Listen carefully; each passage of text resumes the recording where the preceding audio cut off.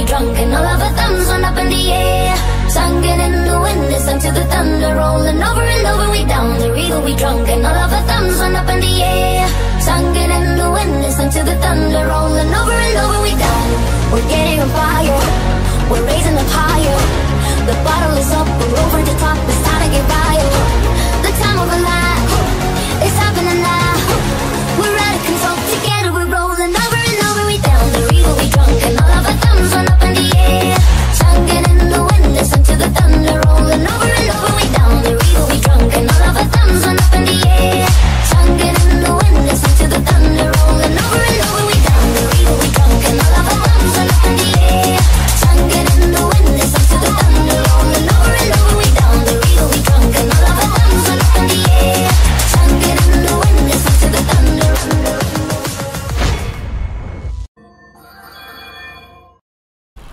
em xin chào tất cả các bác, chào mừng tất cả các bác đã quay trở lại với series nâng cấp Bigam của Auto 300 Mỹ Đình Em là Huy.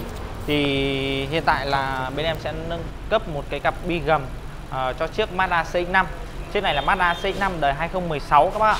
Thì để mà nói thì nguyên bản trên nó cũng là LED rồi nhá. Nguyên bản trên nó cũng là bi LED. Thì anh chủ xe không muốn đụng chạm vì vào cái phần ờ, đèn zin này. Thì cái giải pháp của nó là sẽ nâng cấp một cặp Bigam Đây đây các bác có thể thấy này đây là cái phần dưỡng zin của bi gầm này. Đấy nó đời 2016 thì cái phần dưỡng zin của nó này cái lỗ bi gầm rất là nhỏ. Đây là cái đây là cái đèn zin của bi gầm. Đấy đèn zin của bi gầm. À, thực tế ra thì cái đèn như em thấy thì cái đèn zin này nó như kiểu là cái đèn trang trí. Nó không có tác dụng chiếu sáng và sử dụng. Nên là anh ấy muốn nâng cấp một cặp bi để mà hỗ trợ cho đèn trên.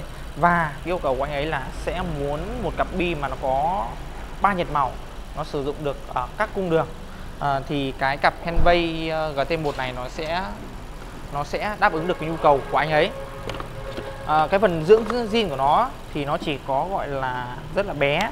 Thì bên em đã thay một cái mặt dưỡng khác. Đây là một cái phần mặt dưỡng khác được uh, chế tác. Một phần mặt dưỡng khác được chế tác.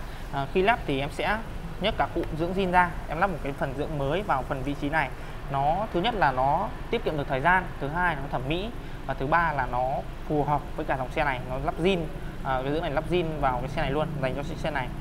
Thì trong phân trong phân khúc bi gầm ba màu thì hiện tại là cái cặp GT1 này nó đang được là được mệnh danh là cái cặp bi gầm cao cấp nhất à, bi gầm ba màu cao cấp nhất. Nó sở hữu với công suất cốt là 35W và khi lên pha nó sẽ có có thêm một mắt giả lập laser laser nó trợ pha nó sẽ đưa ra công suất pha là 55W với cái quãng sáng ở phần cốt rất là rộng mịn và cực bám đường. Nó sẽ giúp cho các bác ờ, khi di chuyển buổi tối nó sẽ ờ, quan sát được hết hai bên đường và nó sẽ ờ, giúp phát hiện ra những cái cái gọi là chướng ngại vật để giúp cho các bác đi đường nó được an toàn hơn. Và khi lên pha khi lên pha thì nó sẽ có thêm một cái mắt trợ pha. Đây chính là cái mắt trợ pha nó đưa nó hỗ trợ thêm uh, về cặp pha bi gầm này. Nó sẽ đưa ra công suất pha nó của nó là 55W nó có thể thay thế được đèn pha zin này luôn nhé các bác nhé thay thế được đèn pha zin luôn. Để mà còn thực tế là khi lắp khi bên em đã có cái dưỡng sẵn này lên rồi thì cái việc lắp đặt nó các thứ nó sẽ rất là nhanh hơn. Thì chơi tầm hơn 2 tiếng đồng hồ cả thời gian căn chỉnh và thời gian tháo cả bây giờ cái công đoạn là bên em đã thi công xong. Bây giờ em sẽ mời các bác thử xem thử cái ánh sáng mà sau khi nâng cấp lên giữa đèn zin và đèn gầm này nó như thế nào nhá. À, bi gầm GT1 này nó sẽ gồm 3 nhiệt màu à, nó sẽ giúp cho các bác sử dụng ở mọi cung đường nhá. Trước mặt các bác đây nó là nhiệt màu 3000 bật đèn pha lên tâm. Đây là cái đèn pha của đèn pha pha zin của chiếc Mazda CX-5 đời 2016 của nó là tiền thân của nó là bi led với ánh sáng trắng.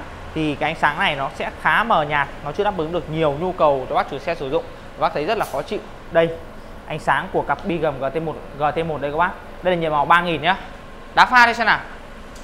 Đá pha đây pha này thì nó rất là đậm và nó rất là tròn. Nó sẽ giúp cho các bác bắn xa lên rất là xa và nó sẽ hỗ trợ rất nhiều cho ờ, đèn pha nhé tắt đi đổi màu.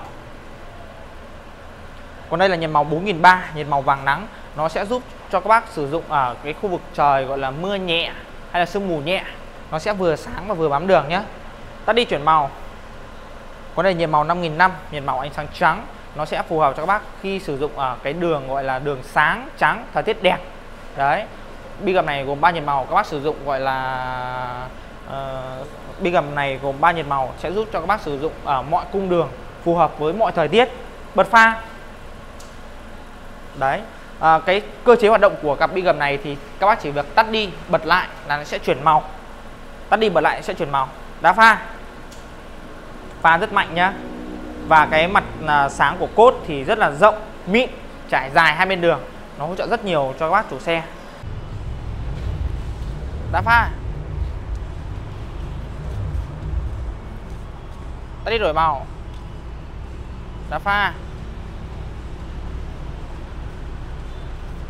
Rồi À, về phần đăng kiểm thì các bác yên tâm là khi các bác nâng cấp một cặp bi gầm này thì sẽ không bị ảnh hưởng đến đăng kiểm nhé nhưng mà đăng đăng kiểm đèn gầm nó là đèn chiếu gần. Thì khi đăng kiểm là các bác sẽ phải rút bỏ cái rắc pha của bi gầm đi là các bác sẽ đăng kiểm được bình thường quá nhé không ảnh hưởng gì đến đăng kiểm. À, các bác có nhu cầu nâng cấp ánh sáng từ bi một màu đến bi ba màu thì hãy để lại số điện thoại. Em Huy sẽ có liên hệ tư vấn và hỗ trợ các bác. Xin chào và hẹn gặp lại các bác ở những video tiếp theo.